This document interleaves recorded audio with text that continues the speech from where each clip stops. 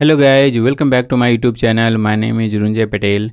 Guys in this video i am going to talk about uh, data policy. As of now we have seen that how we can apply a ui policy and client script that works uh, on the form level and the client side. But we do have a, another concept uh, uh, that is called data policy. If we want to apply some rule at the server level uh, for form validation basically. On that case um, now has created this capability called a data policy right? It works a similar way the way uh, ui policy work but only difference between ui policy and data policy. We have that ui policy work on the form level or client side we will say on the form level and but the data policy work at the uh, database level or server level what do you mean by uh, server level and database level right?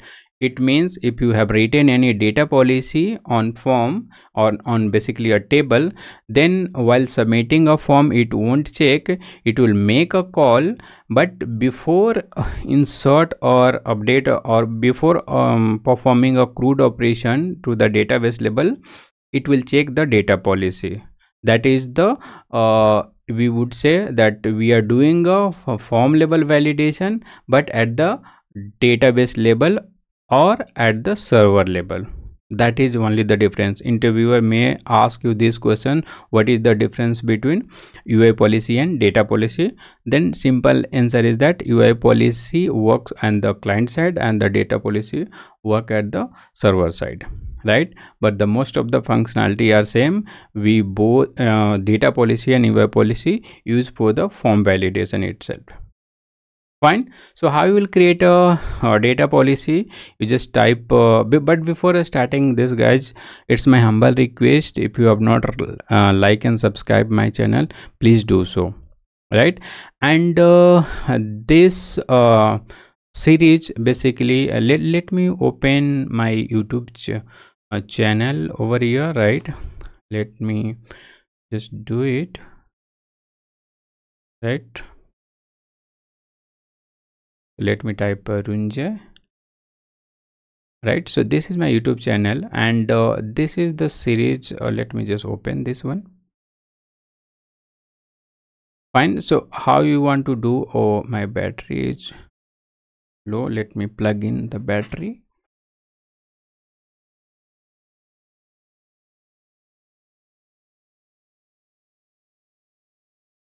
fine. So uh, the playlist uh, which uh, right now i'm making a video just click on the playlist and you can see all my playlist as of now. Uh, so this is the old one. Uh, this is also uh, having a ServiceNow fundamental course. But this one as of now as you can see here 22 videos are there. We are making a ServiceNow tutorial. This will clear your ServiceNow fundamental concept. Okay and but we do have a other uh, playlist like if you want to learn ITOM like cmdb and discovery then watch this one. And if you want to learn the mobile application development then this series will be helpful. Integration related video i have uh, kept over here. Csm video we have over here right? A scripting all video if you want to have uh, a scripting knowledge in depth then this uh, playlist will help you right? So that's all. Let's uh, go back to our uh, data policy video. So um, here so from left hand side you just type uh, data policy. You will come under the system policy rules and click on the data policy. You will be present with this uh, data policy table. Here it will be having a all the uh, data policy which is present in the system right? Let me open the side by side ui policy as well right so let me open over here ui policy. And this one uh, we had created in our earlier video right? And from here let me uh, create a new uh, data policy. So let's understand uh, you'll be asking hey runjay we have a form level validation. Do we really need a data policy at the um, data level uh, database level validation then on certain condition i would say yes. Not always but uh, for few client uh, which i have worked for them they want to make sure that uh, data accuracy has been maintained properly. So i would uh, i will say you where is the loophole? Okay?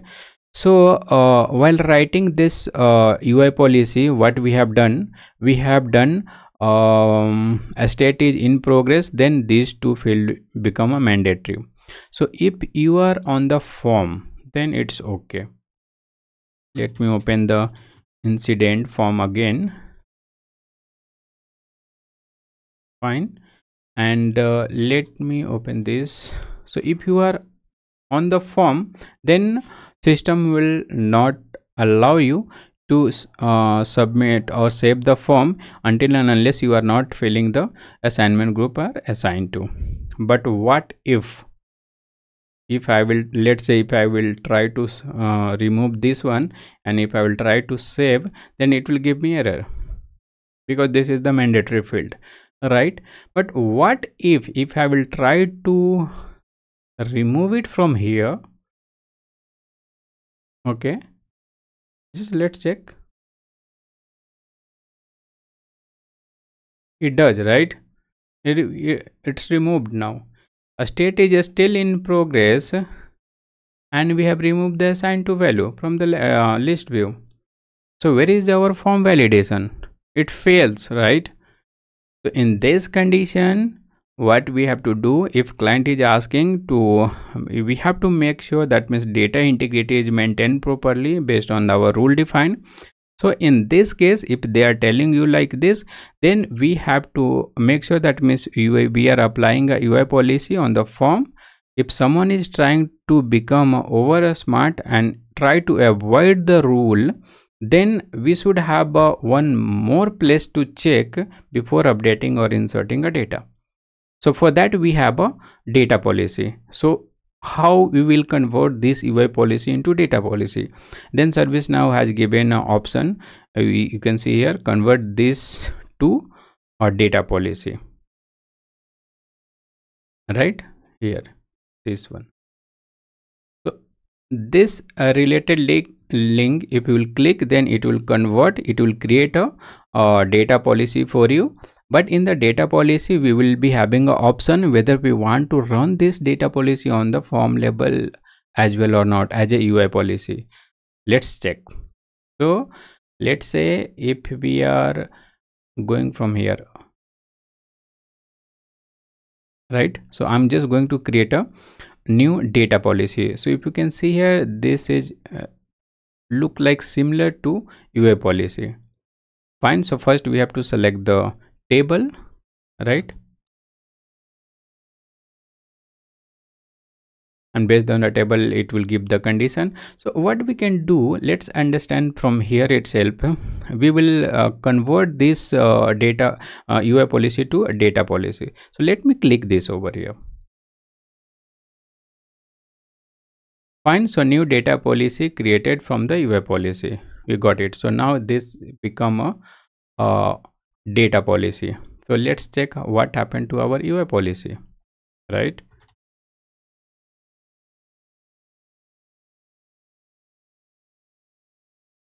So uh, we have a ui policy over here right? Let me open the ui policy as well. We'll make it side by side. But the moment you will convert this uh, to uh, UI policy, sorry, data policy, then uh, system will mark your UI policy as inactive. So it, it won't be applicable. You got it? Right? So now your data policy is wholly responsible to perform the validation on the client side as well as the server side. Correct? So we don't require the, to write a separate UI policy to perform the job. Because we have option use as a UI policy on client side right? If you are unchecking it it means it won't check at the uh, client level. It's better always if you are writing a data policy then you just check uh, if you want to apply on the form level also. In certain condition uh, we um, we are not uh, making this checkbox checked.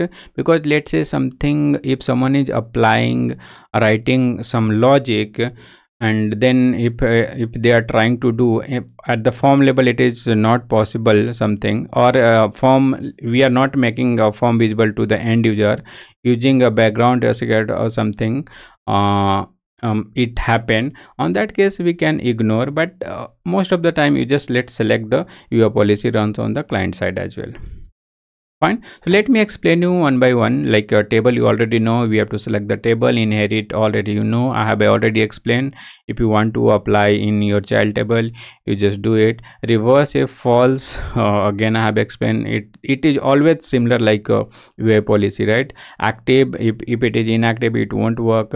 Apply to import set. Okay. So these two three fields uh, we have a new on the data policy apply to import set. So import set basically it will help when you, are importing a data into a respective table. Let's say you are uploading a data using a data source right?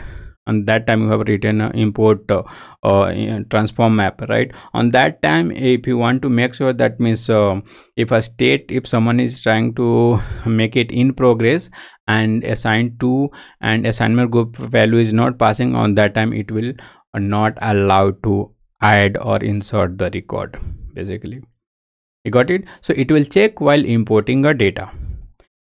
This will check uh, while applying a soap integration right? Rest and soap uh, integration you are already aware. So while um, inserting or updating a data if you are doing through the integration soap integration that time if you want to make sure this uh, rules run at the database level if uh, someone is not passing uh, the proper value then it should not insert. Then it will check at that time level as well. Right? So other thing are same. Here we have a data policy rule that assigned to similar like a mandatory we are making it right?